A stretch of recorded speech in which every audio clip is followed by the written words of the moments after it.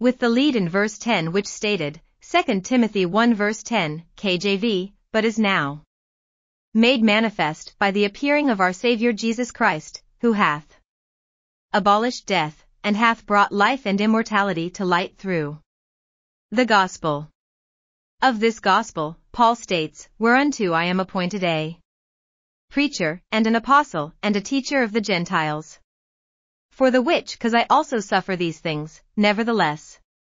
I am not ashamed, for I know whom I have believed, and am persuaded that he is able to keep that which I have committed unto him against that day. 2 Timothy 1 verses 11 to 12 KJV. Let's break this down. Verse 11, Paul points out, as he does so often regarding his gospel, Romans 16 verse 25, that he is the appointed preacher, apostle, and teacher of the Gentiles in this regard.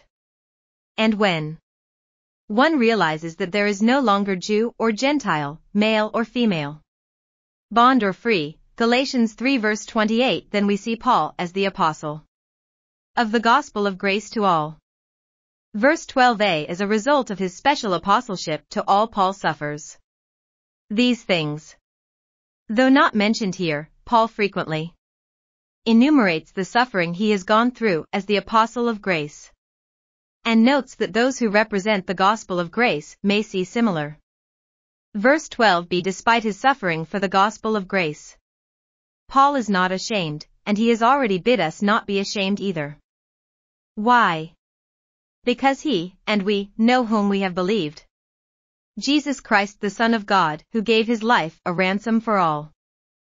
Verse 12c And not only does he know whom he has believed, but he is also persuaded as regards whom he has believed.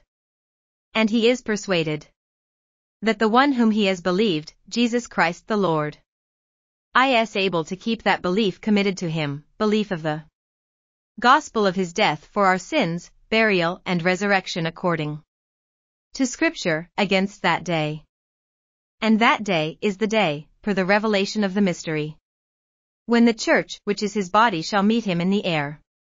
And so ever be with him. Believer, know whom you have believed. It's a game changer.